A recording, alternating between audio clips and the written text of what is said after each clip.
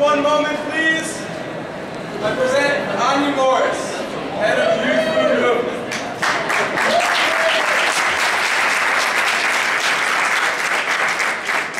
Hello everybody.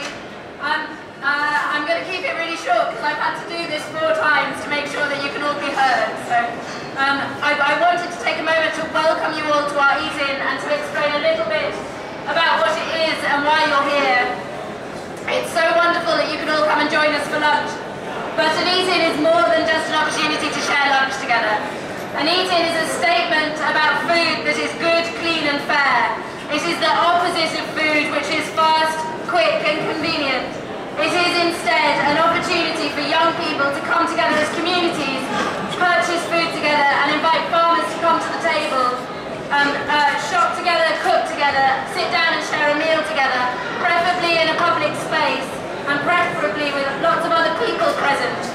Our aim for today is to tell you what an eat-in is in the hope that you will all go back to your own communities and own projects and own friends and decide to organise them for yourselves. So far this year we've had eat-ins in America, South Africa, England, Germany, Holland. There are people sitting among you, I can see some of them here, who are extremely experienced eat-in organisers. I really invite you to share and communicate with the people around you. Some people have bought products from their own countries and their own communities. Tell your stories, connect with each other, find out about why you're here and what you're up to.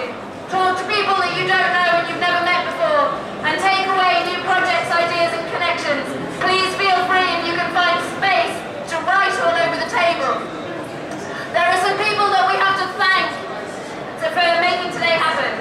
All of the food that you are eating today has been donated by the Maestri del Gusto di Torino, they're the master artisans from Turin.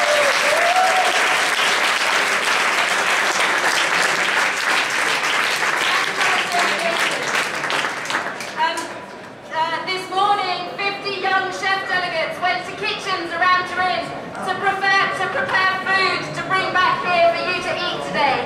They had the opportunity to work in Piemontese kitchens and find out about the traditional territorial food from area.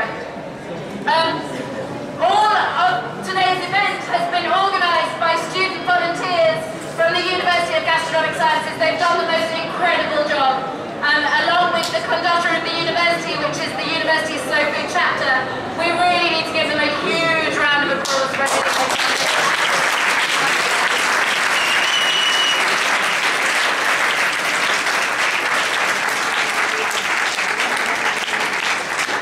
Have a wonderful lunch. We're really happy we, you're here. Thank you so much for coming. Please go back to your own communities and organise eat-ins. They're a wonderful communication